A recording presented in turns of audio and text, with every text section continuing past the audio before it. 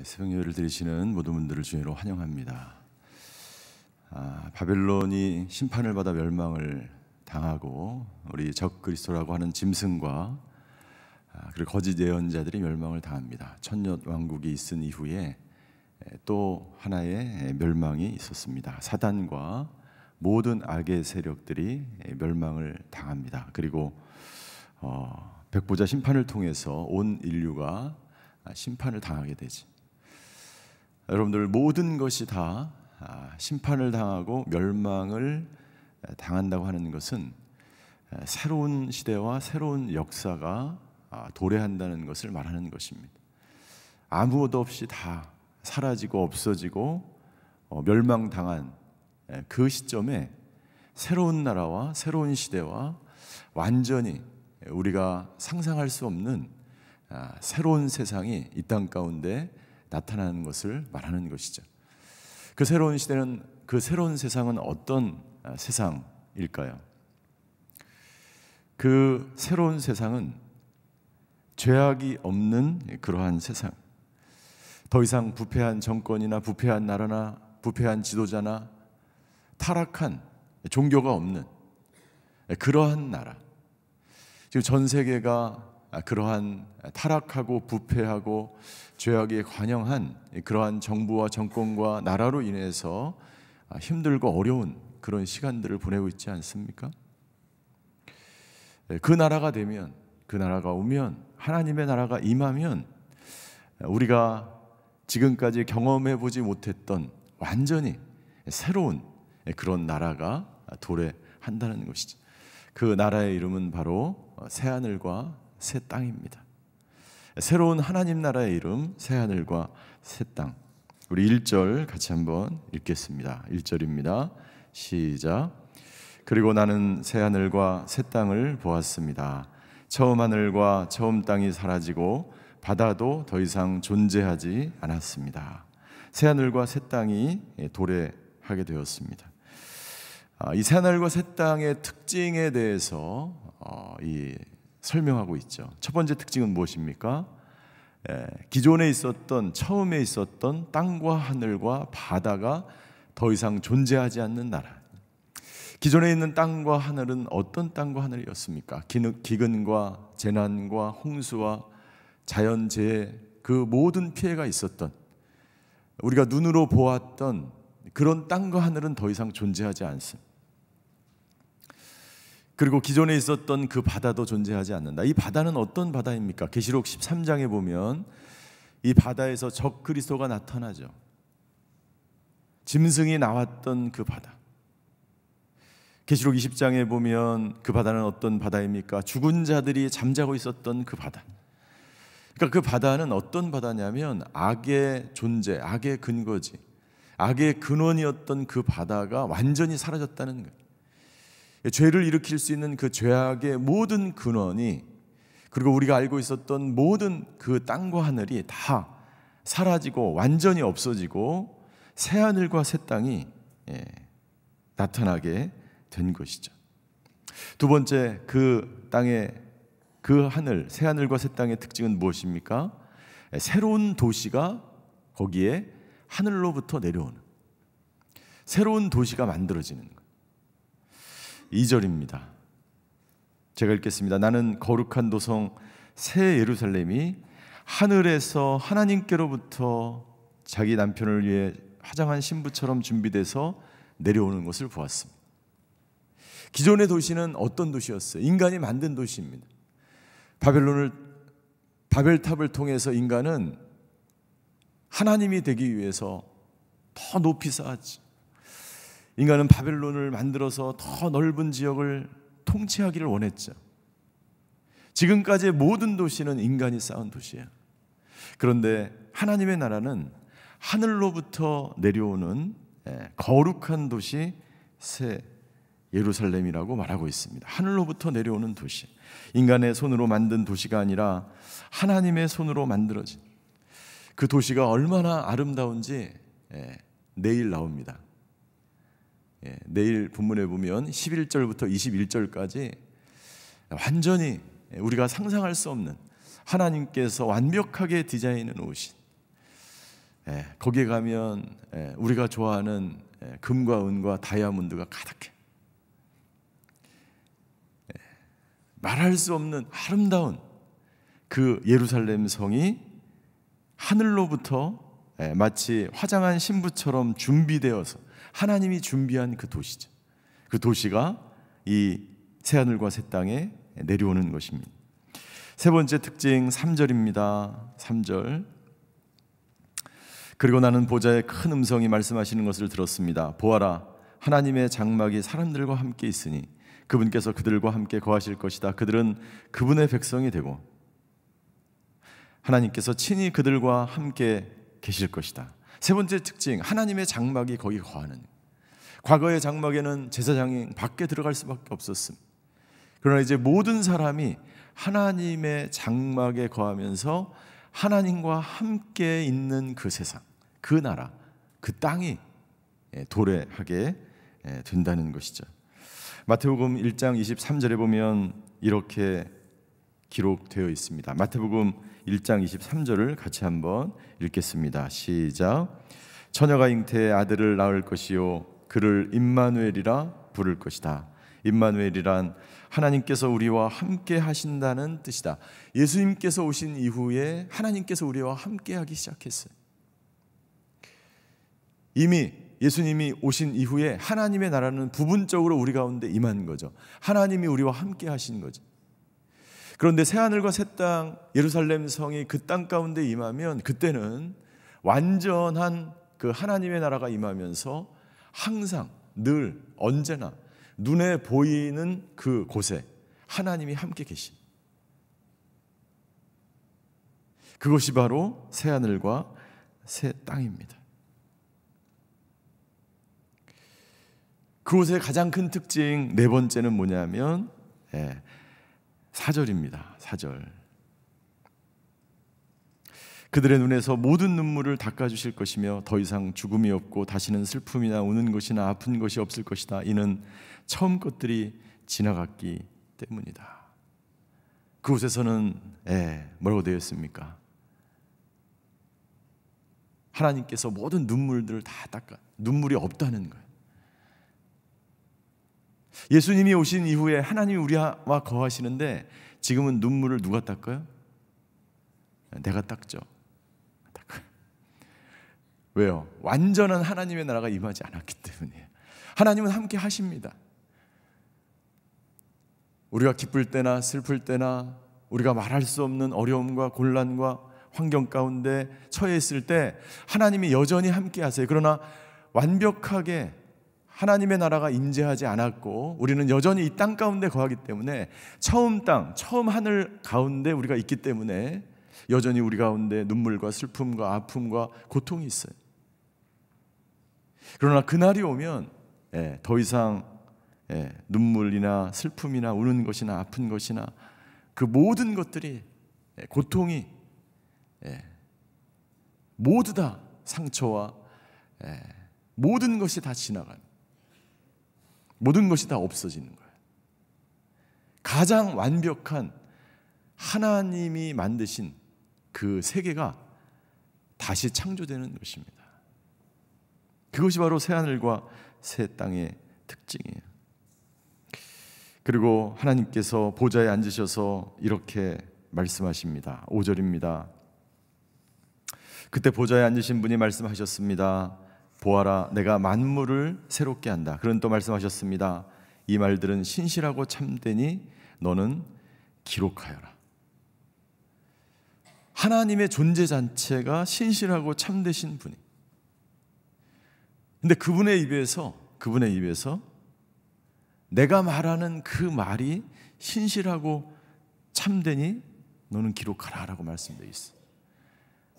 가장 완벽하고 완전하신, 가장 신실하신, 가장 거룩하신 그 하나님께서 그 하나님의 입에서 내 말은 신실하고 참되다. 신실하고 참되신 그 하나님의 말씀이 여러분들의 마음판에도 새겨지게 되기를 주임으로 축원합니다. 새 하늘과 새 땅은 반드시 임하게 될 것입니다. 그 새 하늘과 새 땅은 우리가 상상할 수 없는 하나님의 임재가 하나님의 거하심이 항상 함께하는 우리가 이전에 볼 수 없었던 가장 완벽한 그 나라가 우리 가운데 임재하게 될 것이라는 거죠. 6절 그는 또 내게 말씀하셨습니다. 다 이루었다. 예수님께서 십자가 상에서 말씀하신 거죠. 다 이루었다. 예수님은 십자가를 통해서 다 이루셨고 하나님은 하나, 새 하늘과 새 땅을 통해서 마지막 때에 다 이루셨어요.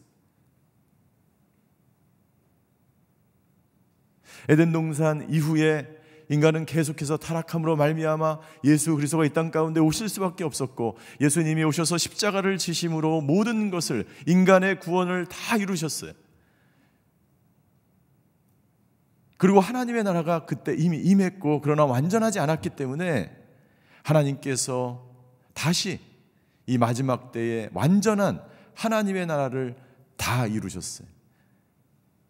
하나님은 알페와 오메가 되신다라고 말씀하십니다.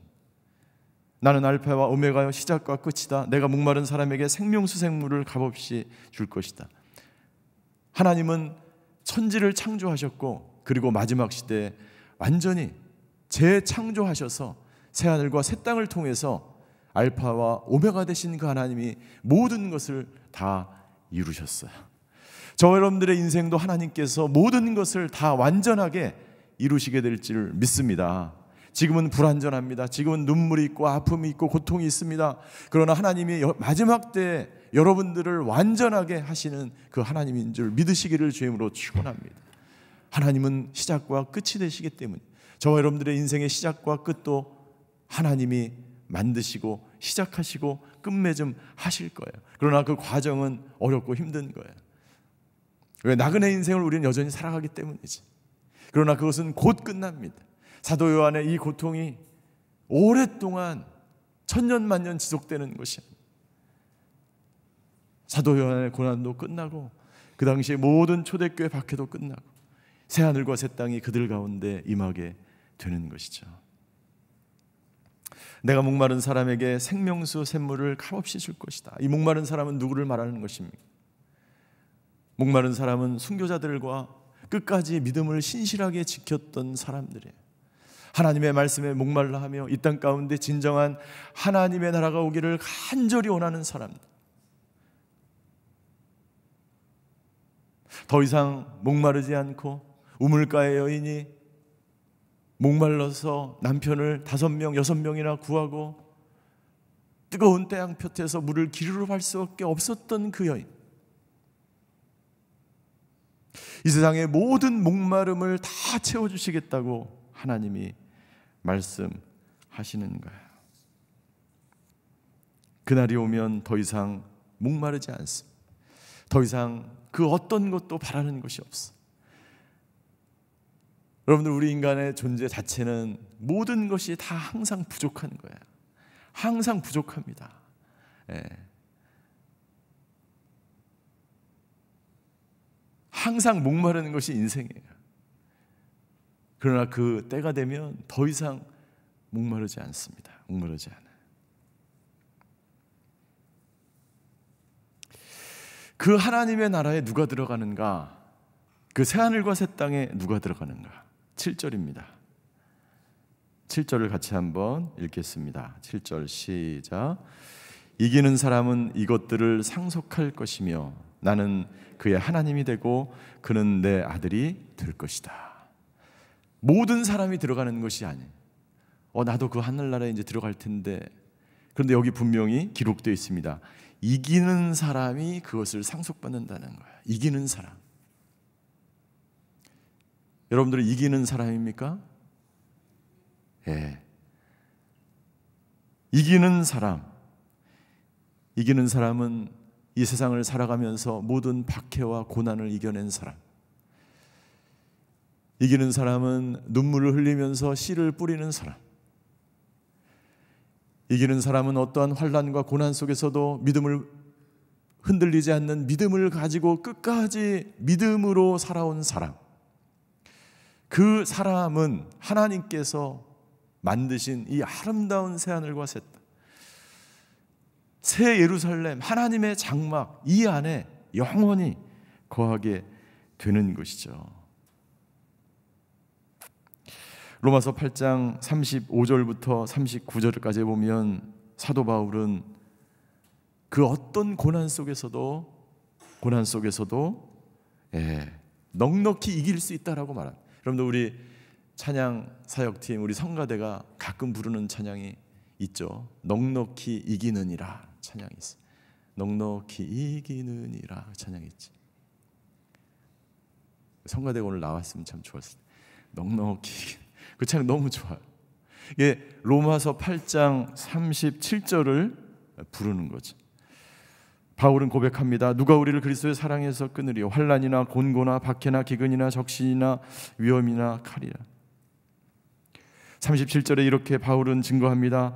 그러나 이 모든 것에 이 모든 환란에 이 모든 고난에 우리를 사랑하시는 이로 말미암아 우리가 넉넉히 이기느니라. 할렐루야. 저와 여러분들은 넉넉히 이기시는 인생이 되시기를 주임으로 축원합니다. 여러분들 우리가 왜 이기지 못합니까? 우리가 왜 쓰러집니까? 우리가 왜 두려워합니까? 왜 불안해합니까? 내가 이기려고 하기 때문에 그런 내 힘으로 하려고 하기 때문에 그런 거예요. 내 힘으로 할 수 있는 것 없어요. 내 능력으로 되지 않습니다.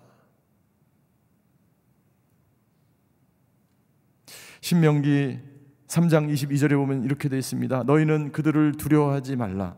너희 하나님 여호와께서 친히 너희를 위하여 싸우시느니라. 예. 하나님이 저와 여러분들을 위해서 싸우시는 줄 믿으시기를 주임으로 축원합니다.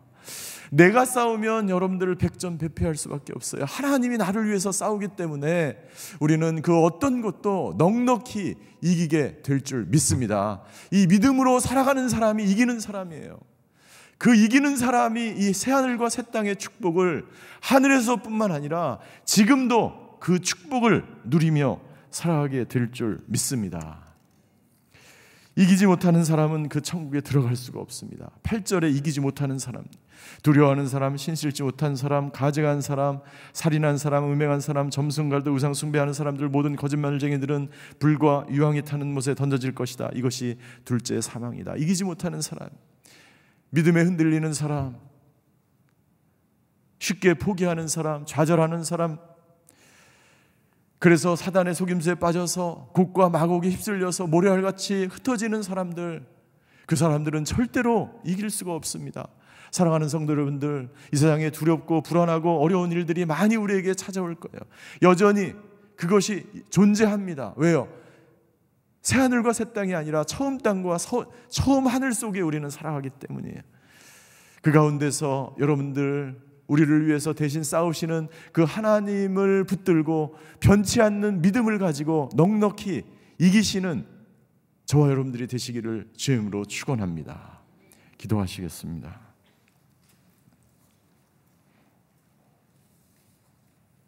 하나님께서 우리의 모든 목마름을 해결해 주시는 하나님인 줄 믿습니다. 예수님이 오셔서 너희 목마른 자들아 다 내게로 오라. 내가 너희 배에서 생수가 흘러 넘치도록 넘쳐나게 하겠다고 말씀하셨어요. 이기는 자들은 이미 우리에게 생수가 있고 이기는 자들에게는 이미 모든 것에 넉넉히 이기는 그 능력을 하나님이 주신 줄 믿습니다. 하나님 넉넉히 이기며 하나님이 주시는 그 믿음을 가지고 우리를 위해서 싸우시는 그 하나님을 바라보며 믿음으로 오늘 하루도 승리하는 저희가 되게 하여 주시옵소서. 아버지 하나님 이 나라 이 민족 아버지 하나님 넉넉히 이기는 하나님의 나라가 되게 하여 주시옵소서. 아버지 하나님 모든 것이 모든 죄악이 모든 부정한 나라와 부정한 부, 정권과 나라와 정부가 다 사라지고 아버지 하나님 하나님의 나라가 공의와 정의가 완전히 이루어지는 그 하나님의 도성 새 예루살렘이 있는 하나님의 나라가 이 땅 가운데 임하는 그런 역사가 아버지는 일어나게 하여 주시옵소서. 이 시간 이 나라와 민족을 위해서 자기 자신을 위해서 주여 한번 부르고 같이 기도하시겠습니다. 주여! 사랑의 하나님 새 하늘과 새 땅 새 예루살렘 거룩한 도시 아버지 하나님 그 새 하늘과 새 땅과 새 예루살렘 성이 이 땅 가운데 아버지 하나님 이미 임하여 있는 줄 믿습니다. 예수 그리스도를 통해서 아버지 하나님 주여 모든 부정한 나라와 정권과 부패한 아버지 지도자들과 부패한 모든 것들이 다 사라지고 아버지 하나님의 심판을 받아 멸망하게 될 줄 믿습니다. 아버지 하나님 속히 임하여 주시옵소서. 아버지 이 나라의 정의와 공의가 세워지게 하여 주시옵소서. 아버지 하나님 이 나라가 올바른 나라로 정의로운 나라로 하나님의 나라로 세워지는 역사가 아버지 일어나게 하여 주시옵소서.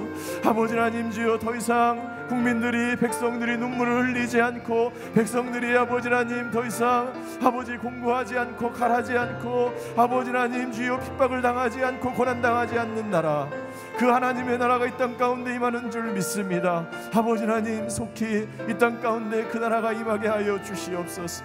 환난과 아버지 두려움과 아버지 어려움 가운데 아버지 하나님 주여 혼란 가운데 있는 성도들이 있습니까? 아버지 하나님 주여 우리를 위해서 대신 싸우시는 그 하나님을 붙들고 아버지 십자가에서 승리하신 그 예수님과 함께 넉넉히 이겨나가는 오늘 하루의 인생이 되게 하여 주시옵소서.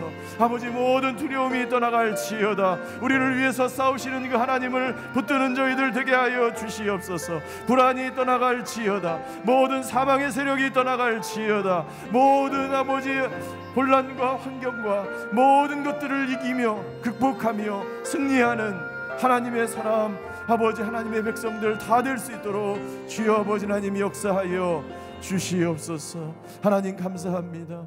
넉넉히 이길 수 있다라고 말씀해 주셔서 감사합니다. 넉넉히 이기는 믿음이 우리에게 있게 하여 주시옵소서. 우리를 위하여 대신 싸우시는 그 하나님만 바라보며 승리하며 넉넉히 이기는 오늘 하루가 되게 하여 주시옵소서. 이 나라 이 민족 위에 아버지 하나님 임재하여 주시옵소서. 하나님의 장막 하나님의 도성이 이 땅 가운데 가득 넘치게 하여 주시옵소서. 아버지 하나님 주여 부패한 나라와 정 정권과 모든 세력들, 악의 세력들이 모두 다, 다 사라지고 아버지 하나님 공의와 정의와 물같이 하수같이 흐르는 나라와 민족 되게 하여 주시옵소서. 오늘 하루도 그 믿음을 가지고 오늘 하루도 살아갑니다.